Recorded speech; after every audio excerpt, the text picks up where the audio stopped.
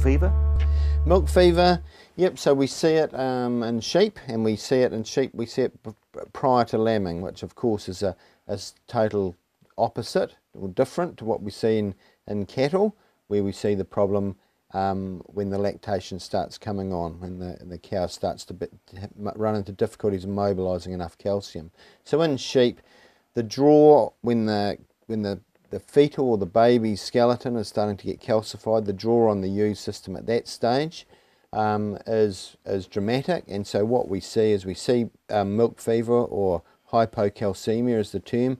We see this condition in ewes later in pregnancy, and we just get weak, floppy ewes on the ground, um, and a typical metabolic ewe would call it. And it's kind of a it can be difficult on occasion to work out whether that is due to pregnancy toxemia or or uh, milk fever. I guess on the whole, milk fever ewes tend to be in better condition, and it can creep up in, in quite quite well fed ewes as well. Um, and if we're using um, certain types of winter feed, it can be can be a problem as well.